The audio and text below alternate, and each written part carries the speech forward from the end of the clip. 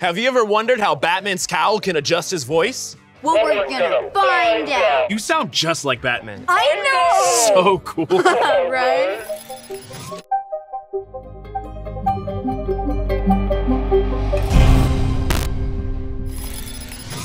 Greetings and salutations, everybody. I'm Josh. And I'm Caleb. We've also got with us today the Bat Computer, Penny One. Greetings. And welcome to Batman Science Lab, where we test the science behind Batman's cool crime-fighting technology. We've been learning all about his tech. As members of the Night Watch, Penny One's new program where people like you and me from all over the world get to practice honing our own skills to be everyday heroes. That's right, and we both love Batman. And so today, we're gonna look at the science behind Batman's iconic cowl, and more specifically, how he's able to make his voice unrecognizable. Penny One, can you pull up Batman's cowl to show what we're talking about? The cowl has a microphone and voice modulator. That alter the pitch and volume of Batman's voice to protect his identity. I mean, it's a pretty good way for Batman to keep his identity a secret. Oh yeah. So now, Caleb, do you have an idea of how Batman is able to change his voice? I'm not sure, but we're gonna find out. It's actually by using sound waves. Now, sound waves are just that. It's waves of energy that flow through the air caused by vibrations. So for example, right now, my voice is making vibrations traveling through the air and to your ears, which interpret it as sound. Whoa, that is awesome. Isn't it? There's also a thing called frequency. That's the speed of how fast or slow the vibrations are moving. Mm-hmm. So usually, a vibration wave moves just like this, right? We're rocking, we're rolling. If the vibration were to pick up speed and the waves got taller and more frequent, that means that vibration has a high frequency. Let's say we're moving a little slower. The waves are gonna get shorter, more space between, so the vibration is a little slower. That means we have a low frequency. We also use the word pitch to describe it as well. So Caleb, let's do a review real quick. Can you give me a sound of low frequency or low pitch? Oh, Amazing. Now, can you give me a sound of high frequency or high pitch? Like this?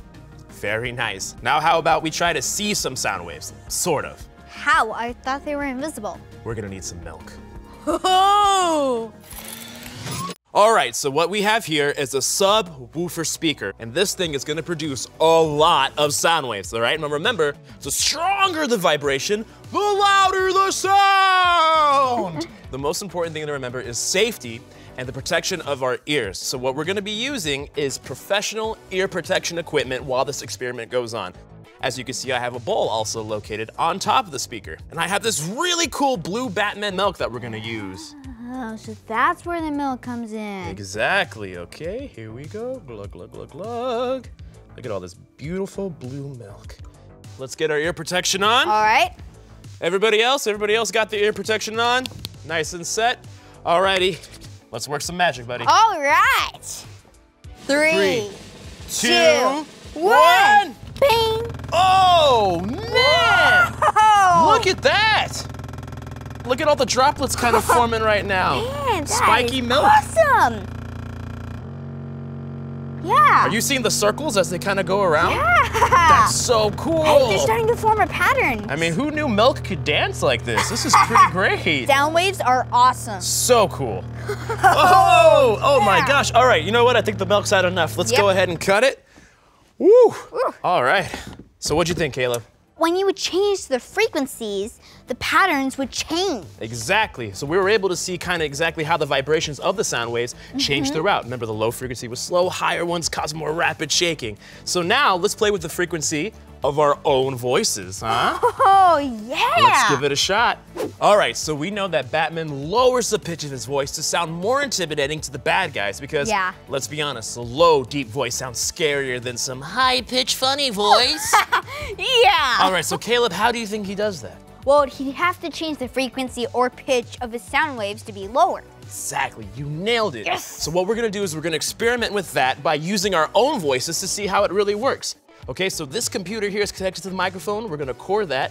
And my mixer here is gonna change the pitch of the sound by speeding up or slowing down the vibrations of our own voices. Okay, so we're gonna see how that plays out. Are you ready, Caleb? A good superhero is always up for trying new things. That is the attitude to have, my dear friend. You got your phrase you're gonna say? Yep. Three, two, go. This is Batman's Science Lab. Ooh, sounded so official when you said it. All right, do you mind hitting up these knobs for me? Let's turn it up a Turn up little the bit. volume. Nice. Now what I'm gonna do is I'm gonna turn the pitch up really high. And Playback. This is Batman's Science Lab. this is Batman Science Lab. That's pretty close. you could have done that all on your own. That was fantastic. You sounded like a nice little mouse. Okay. you. All right, we're gonna do it again, but this time I want you to say something else completely different, okay? Okay. Ready, set. Welcome to the Night Watch. Ooh, oh. so official. I got uh, chills. Okay, turn that back up. up. We're gonna turn the pitch all the way down. Let's see how that sounds. Playback. Welcome to the Night Watch. Whoa! I sound like Batman. Honestly, you sound It's just like Batman. Welcome to the Night Watch. That was amazing, buddy. Yeah. So the voice modulator in Batman's cowl must work the same way. It changes his voice slightly when he talks to make it a lower pitch and increases the strength of the vibrations, making himself louder when he wants to. Exactly. See, Batman took it a step further than our software because he was able to do it in real time. I mean, that's just because his tech is way more advanced than ours. I think it's cool how different types of sounds make people feel differently. Like how deep sounds can be scary and intimidating, and how high sounds can be funny. And Batman figured that out and uses it to his advantage. Can we do some more voices? Oh yeah, I'm so All right, game. Your turn. Okay. So three, two, one, go. Your day has come, Calendar Man. Oh! All right. That is classic. I felt good. I All felt right, good. It felt good. Turn up the volume Okay. and higher low. Let's go low. Let's All go right. low. Let's get the official Batman right. sound. And play. Your day has come, Calendar Man. Sound just like Batman! Oh my gosh, that felt so Good. good. That felt so good to see hear. Days come, Calendar Man. You did All it oh, better right. than me. All right. now, sound is super cool. It can really change how we perceive things around us. I think it just makes it that much more interesting how we all are made with our own unique voices. I think I should use my Batman voice more often. You know what? That's a great idea. Hope you learned something here on Batman Science Lab. And for more awesome Batman content, stay here on the DC Kids channel. Tactical visor activated. Tactical Visor?